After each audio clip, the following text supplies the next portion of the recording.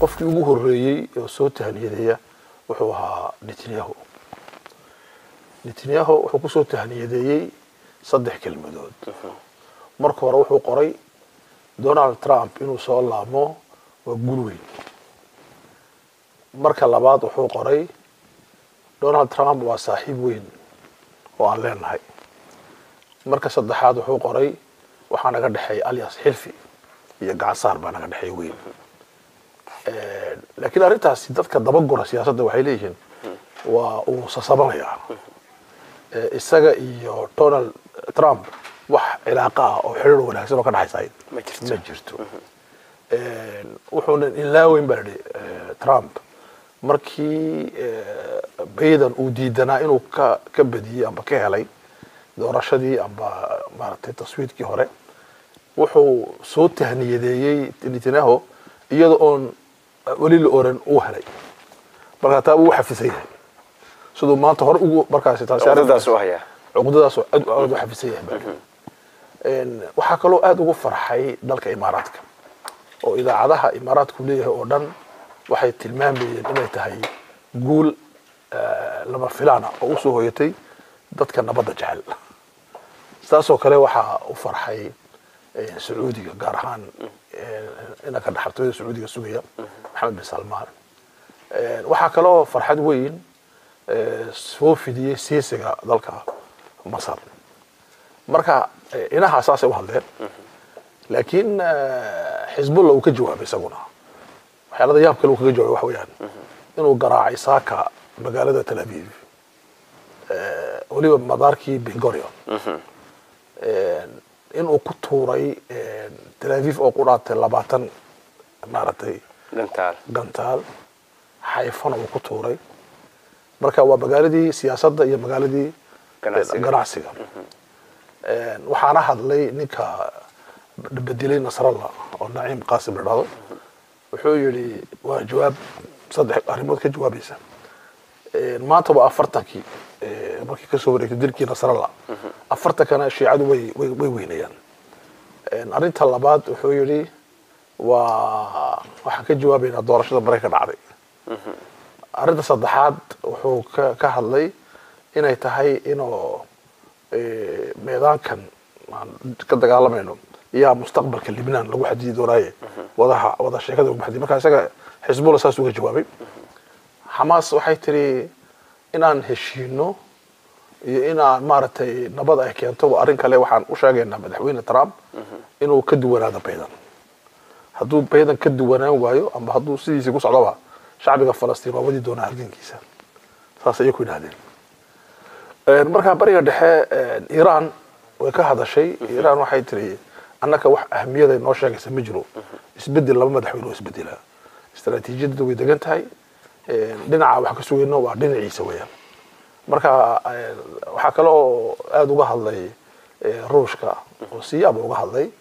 Ruushku wuxuu yidhi waxaan eegi doonaa een, tallaabooyinka uu qaado laakiinse waxaa argagax muujisay ukraine iyo argagax badan ka muujisay. Wadanada reer yurub oo dhan way ka naxeen. Guusha u soo hoyatay ninkaas. Waa midigtii midig- midigahoogii oo kale weeyaan. Ha. aad bay uga naxeen. Waxaa kale oo jaynuhu yidhi laba shay un baan anaku muhiim noo ah. Waxaa noo ah muhiim inaan nabadgelyo ku wada noolaano iyo in aan eh, cilaaqadeedu ay deganaato. Yaa muhiim noo ah muhiim noo maaha qofka meesha aqalka cad tagaya. Annaka muhiim noo maaha bay dhahdeen Een, marka dunidu saasay ula ula ula ula maaragtay falgashay doorashadii xalay tole ka soo dhammaatay aqalka cad ninkii tegi lahaa oo trump noqday. Oo oo- oo dee argagax badan dadka u muujisay maxaa yeelay waxay khilaaftay een, eh, sidii la filayay oo dhan maxaa yeelay inta badan waa isku dhawaashaa la filayay laakiin in badan inuu ka goosto oo maaragtay labada jeerba marka loo eego doorashadii toddobadii gobole lagu kala baxayay isteed na uu uu ku wada badiyay inta badan shacbigana eh, lix malyan baa udhexaysaya badha Wuu- aad buu uga horreeya marka marka waxay dadku ku macneeyeen doorashadan kolley docteerkan uga bixi doonaaye waa wadankii maraykanka waa loo gacangeliyey waa tahay. Waa tahay. Eh, sheekh cabdiraxmaan eh, hadday waxaad warbixin naga siisay eh, reactionka ama ficil celinta madaxda bariga dhexe intooda badan. Marka maxay ka filanayaan siyaasad ahaan siyaasadda arrimaha dibadda ee maraykanka? Ma waxbaa iska bedelaya mise sida inay sii ahaato okay horta waa su'aal wanaagsan. Jazaaka allah khayr. Waxay dhahdaan dadka dabagura ninkan trump waxna ka qoraa saddex sifay ku sheegaan noloshiisa. Waxay dhahdeen waa nin isku isagu isku duura. Shaksiyadiisa ayaa weyn.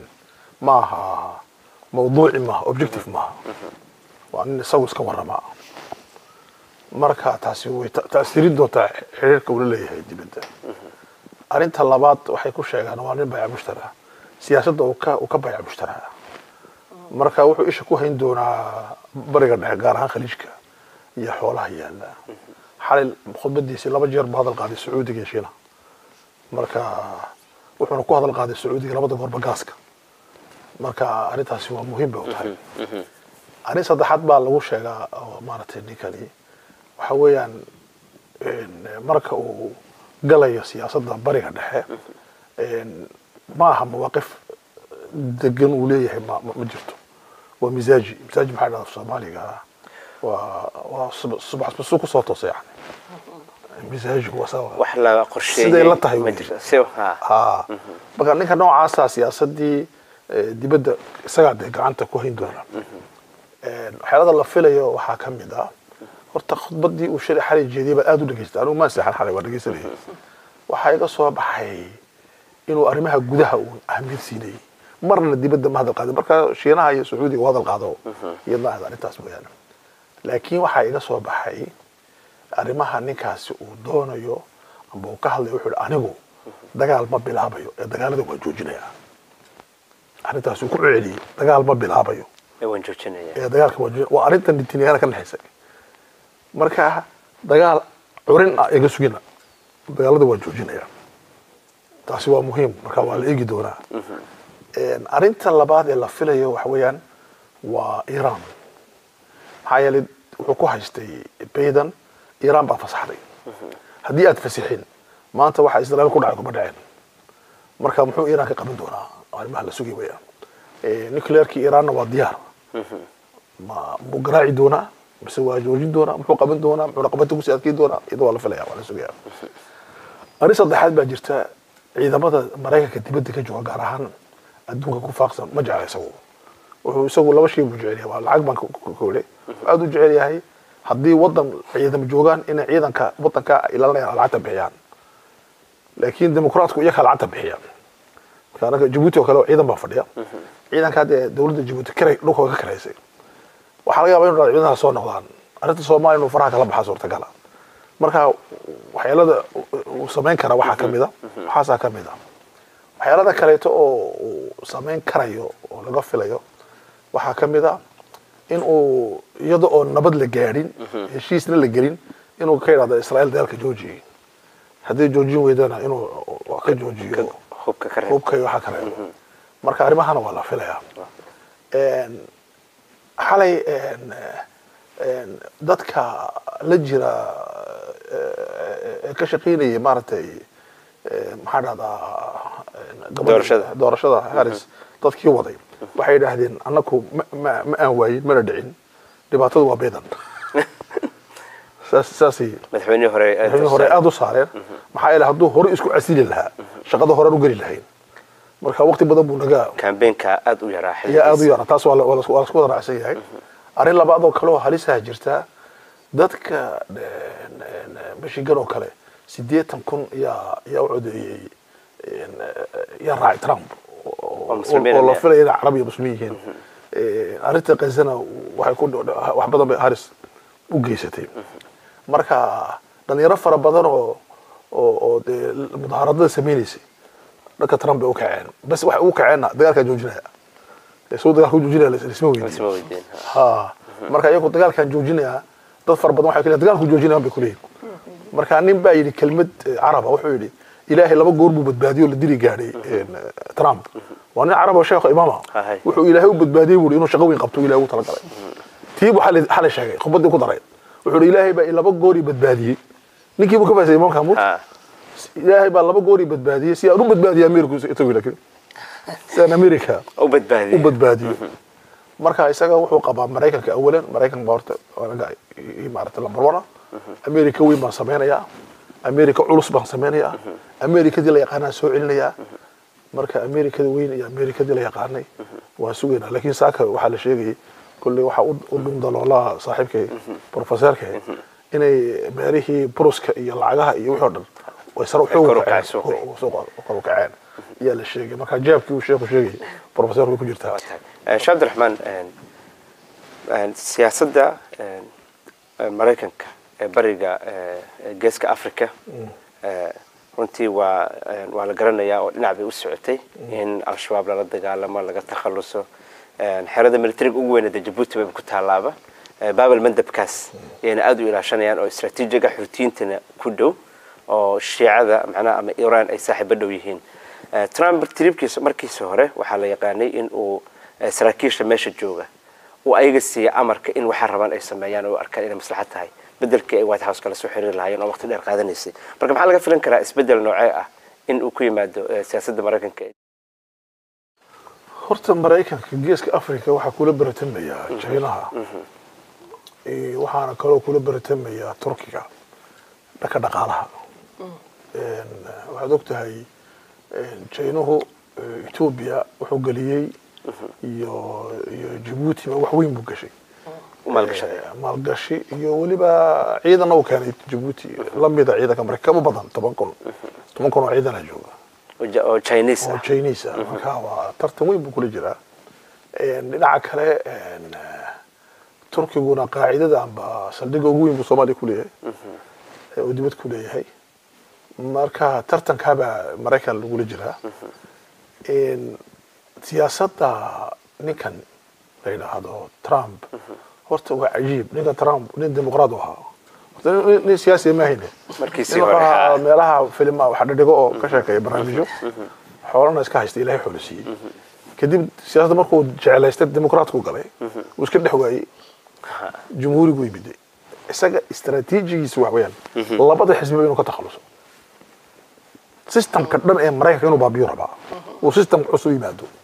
Waa revolutionary. Waxaa taa ku tusaya. Xalay wuxuu ku yidhi ninka madaxweyne ku-xigeenkiisa kaalay dagaal weyn baad gashaye kaalay hadal. Markuu hadlay wuxuu yihi dagaalka gashaan kaga muxuu dagaalka dagaalku galay. Wuxuu yihi meelaha ay fadhiyaan saldhigyada mujrimiinta ayaad ka dagaalamisay waa si anantii wuxuu sheegay. Waa idaacadihii dawladdu ay lahayd wadanku lahaa. Iyuu sheegay wuxuu ku leeyahay waa meelaha mujrimiintu ay fadhiyaan yaa dagaal weyn aad ka gashaa anu ma tegayn adaa tegay buu yidhi marka ninkani waa systemkiisa dhan waa saas weeyaan waxaan is leeyahay geeska africa horta. Kama soo guuri doono maxaa yeelay dawladda camiiqa ee fog ee gunta fadhida ee bitagonkii leh ee mukhaabaraadkii leh dhayar kagama ogolaan doonaan arrimaha uu wado maxaa yeelay badda baddan maaragtay casi gaar ahaan baabalmandab waa meel istaraatiiji ah oo muhiim ah waa sii joogi doonaa la dagaalanka maaragtay argagixisaduna waxay kaga jirtaa maaragtay waxay aaminsan yihiin maraykanku. Haddaad argagixisada meesheeda ugu tegi weydo aday ku imani. Markaa meesheeda ku garaac markaa siyaasaddaana waa waa waa saabit. Isma bedesho. arrin saddexaad baa jirta oo ah dee iiraan baa fadhidaba yaman marka hadduu ka yimaado dee iiraan baa jabuuti iman oo soomaaliya iman marka taasina ma aqbalayo. Marka isbeddel weyn kama dhacaysa arrimaha geeska africa laakiin tartanka jaynaha iyo turkiguna ma yaro oo maaragtay xalay toole een, madaxweynaha wuxuu shir u qabtay maxaa dhahdaa turkigu wadanada turkiyada la dhahdo ilaa sideed wadana. Wuxuu ku yidhi inaan fidno haddaan fidi weyno waana lagu fidi. Marka adduunkan waxa la isku haysta waa in la fido ee maaha in la soo ururiyo maaha. Marka haddaan fidi weyno lagu soo fidi buuri cadowgeynuna maaha buuri gudaha ee cadowgeenu dibaduu joogaa buuri marka waa inaan meesha ugu tagna cadowgeenu uu jooga buuri siyaasaddan murugsan ee etoobiya iyo soomaaliya hadda u dhexaysa wax ma ka qaban karaa baad is leedahay mise sideed u isaga daydaya horta u dhaabi doonaa beedan taas ila tahay. Maxaa yeelay een, dimuqraatku dimuqraatku waxay aada ula jireen digreega iyo inay wax ka qabtaan bay rabeen. Laakiin ta kale halista ah wax weeyaan. Oo isaga halista ku ah isaga waxaa hoos fadhiya injiiliyiinta maxaa dhahdaa qolada evangeli evangelicanka evangelicanku waxa weeyaan waa etoobiya waxay ku hayaan gacan adag. Waxayna la socdaan odayga madaxweynuhu waa evangelican abi axmed abi protestant evangelican ha ha weliba evangelican orthodox dhinaca kaleeto ninkii hore xayla maryam oranay ka horreeyna saasuu ahaa. Tigreegana qaar badan baa saas ah marka waxa weeyaan iyada nafteedu inay qolooyinkaasi ta'siiriyaan Ha. marka uu lahaa maaragtay profesorku midigta fog ayuu dowladda ka soo qaadin doonaa marka uu lahaa. Ha. midigta fog waxaa ka mid ah raggan wadaadada ayaa ka mid ah. Waxaa maanta israa'iil laaqayna waa midig fog. Oo oo shalay markay dhacaysay doorashadu. Iyuu eriyey wasiirka gaashaandhigga netanyahu iyo wasiirka arrimaha dibadda uu abuuray dowlad wada midig ah oo si midig fog ah. Wuxuu isku raadiyay. trump uu isku diyaarinayay marka arrimahaasoo dhan wayna taasiirin doonaa annakana geeska africa oo dee injiliyiintu ama dadkan wadaadada ah een, ethoobiyaanku aad ba uga cabada ortodokasku. Kaniisada rasmiga orthodox kaniisadaad aad ba uga Een, muslimiintuna aad ba uga cabaadaan iminka etoobiya haddaad tegtid xataa gobolkiina soomaaliya haddaad tegtid waxaad maqlaysaa kaniisadii oo eedaamaysa. Shan waqti kaniisada waxay garaaci jirtay maa dhadee beel.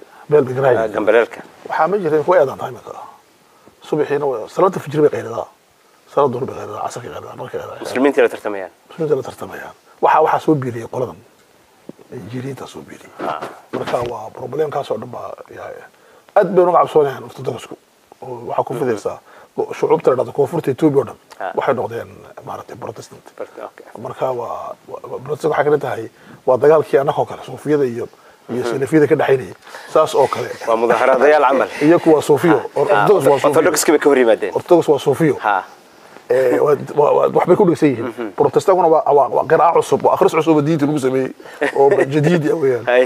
marka way- cabsi weyn bay ka qabaan marka Waa waxaas dagaalkaasaa socda haga etoobiya Waa tahay. Wana ta- wana taasiiri doona ficlan Eh, sheekh cabdiraxmaan eh, kelimada ugu dambaysa eh, daawadayaasha aad la dhig- la wadaagaysid eh, su-aashaan raacsanayna waxay tahay kelimadaasi eh, america inay qof dumara madaxweyne ka dhigato diyaar ma u tahay okay horta jazaaka allah kheer waxaan waxay dhahdaan dimuqraadiyaddu dimuqraadiyaddu bini aadanku intuu soo jiray khibrad kursiga loogu kala hadho meesha ugu fiican uu gaadhay waa dimuqraadiyad yani taasi waa waa waa waa waa biyo kama dhibcaan kama dhibcaan weeyaan laakiin waxay dhahdaan dimuqraadiyaddu natiijadeedu had iyo geel malab maaha.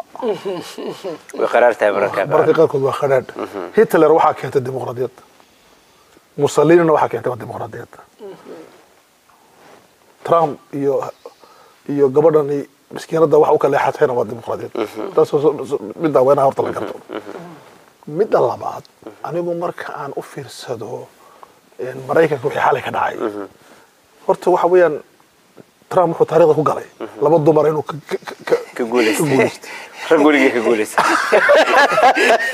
historiga taariikhda u gashay Hay, laba dumar oo weli culculus gabadhii clinton uu xaaska u ahayd ee wari- wasaaradda arrimaha dibadda soo maamushay hillary clinton inuu ka ka maaragtay meel ka maray maantana gabadhii labaad inuu kamaalo ka ka- taas waa taariikh weya su'aal bay dadku isweydiiyaan waxay dhaheen maraykanka dumarka muu ka muu ka exdaa ma- muu ka- raacaa ragga.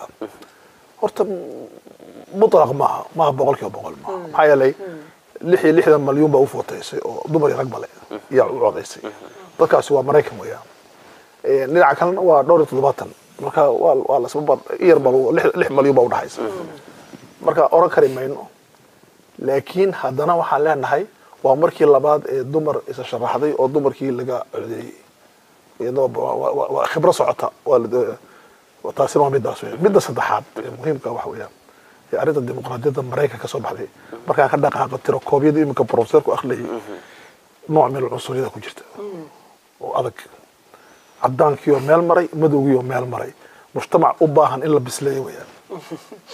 Maaha waa bulsho bislaan weli sidaan u haysana maaha. Qaanuunkaa bisil. Qaanuunka maraykanka waa bisil yahay.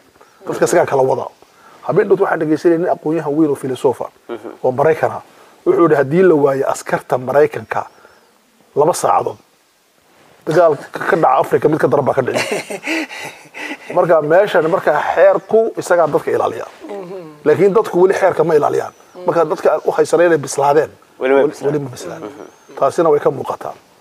Arrin afraad oo maaragtay halisa ayaa jirta. Arrintaasi waxa weeyaan eh, waxaan arkayay gabadhu waxay dagaal ku gashay ciyaalka layska soo tuuri karayo ayay ku gashay. Gobolladii ay u badnaayeen dimuqraadku qaar baa kaniisada galoo farxay markuu trump soo baxay. Haddeeta cal- caloosha wixii noo gala lama hablaha iyagu ma ridayaan bay dhahdeen marka dadka weli biniaadamnimadii way ku jirtaa. Kama dhammaan weli biniaadamnimadii way ku jirtaa. Marka taasina waa midaas weeyaan. Een, dadka trump dadka doortay anu waxaan arkayaa in cadho loo doortay. Cadha loo doortay. Dimuqraadka loo cadhaysana arrinta xamaas iyo gaza ka dhacday. Urur maaha waxa loo cadhaysay waa gaza ka dhacday. Iyo ummadda maaragtay la xaaqay waxaa kale oo loo cadhaysnaa maaragtay jeebka suu sheegay professorku waxaa kale oo loo cadhaysnaa mowqif qaadasho la'aanta. Waxaa la yidhi ninka netanyaha maamulaya baydan madaxweyne baydan ma ahayn. oo xakuma netanyahu netanyaha madaxweynaha maraykanka ahaa. Markuu wax- dagaalka qaado wuxuu leeyahay haba soo uu soo dirayo walidaalika wuxuu yihi maaragtay ninkani trump wuxuu yihi ana imaamuli maayo anaa maamuli doona. Marka waxaas oo dhan haybadii maraykanka taabatina waa loo doortay ninkaasi marka kamala waxaan u malaynaa horta dad baa iisoo qoray saakuu yidhi een, Odor- odoroskiini waa la- khilaafay. May odoros ma haydanin odoroska maalin horaan ka sheegay soomaaliya waxaan yidhi ama ama waxaa badinaya baydan waxaan jeedaa trump amba kamala amba waa laysbabar dhici dirqi oo dagaal baa laga cabsanaya. Saddexa midunba soo bixi yaa doona. soo bixi bayni laakiin saan jeclayn bastan ahayd inay kamala soo baxdo saan jeclayn. Ee ma aha adoroski. Adorosku saa u soo bandhigay sida cilmiga loo sheegay yaan u bandhignay. Marka adoroski mid baa soo baxay saddexaan sheegaynay midun baa soo baxay. soo baxay. Laakiin se meeshaan aan u arkayna inay u wanaagsan tahay dadka maraykanka iyo dunidaba may noqon ninka kale noqotay siduu professorku yidhi aniga dadkeena maaragtay maraykanka ma- jooga. Horta dowlad waxay hoos joogaan. Markii dagaalkii labaad ee adduunku dhammaaday ra'iisul wasaarihii waqtiga ingiriiska xukumayay buu u yimaadeen raggii baarlamaanka ku jiray. Waxay dhahdeen adeer meeshii lacagtu ay taallay waxba kuma jiraan. Ibir wadanku waa ibir ra'iisul wasaarihi wuxuu yihi maxkamaddu see tahay? Iga hor cadaaladda wadanku see tahay? Waxa yihi caafimaad qabtaa. Ingiriisku mustaqbal fiican buu leeyahay. Kol hadday cadaaladii socoto marka maraykanka cadaaladii kama badhno cadaalad kama marno. dad baa idhahdaa ma meel diin islaam oo weli bay cadaaladi taallaa? Bay dhahdaan dadka qaarkood. Culummadu waxay dhahdaan ilaahay wadan baatil ah. Kuma dul dhisa xadaaradan. Xadaaradahan weyn dhacay baatil kuma dul dhismaasay u dhanyihiin waxba waxba run baa iska taal run. Run iyo baatil baa isku dhex jira. Marka islaamku qur'aanku waa cadaalad mia fil mia laakiin xadaaradda reer galbeedku wada baatil maaha hadday wada baatil tahay xaaskiga maldhisa anu baabuurka baabuurka badadnaan walmartiga soo tagnay dukaanka walmartiga. Waa soo joojiyo. Anu gaarigaas ka dhex jiray adaa soo iibsatay way soo noqotay. Waxaan ku idhi qofna ima iguma iman meeshan.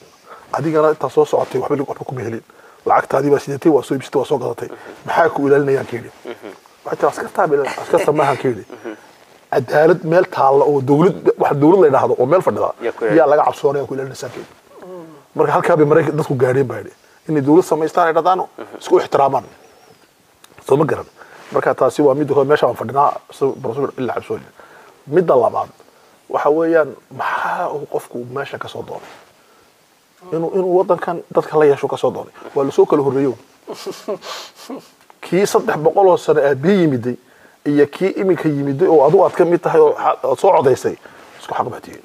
Bas islaanta wasaaradda arrimaha dibadda canada mar joogaysay ayaan la kulmay. Anigoo maaragtay mucaaradka jabuuti matalaya waxay iga tiri goormad canada imatay. Waxaan ku yiri saddex sano ka hor baan imiday anna waxaan imiday tiri saddex boqol oo sano ka hor marka canada waa wada nahay waa soo kala horey dhan bay tiri wasan leenahay meesha wasan leenahay meesha marka caqliga qofku waa inuu ka dhaadhaco Aan wada ilaashano. oo wada ilaashano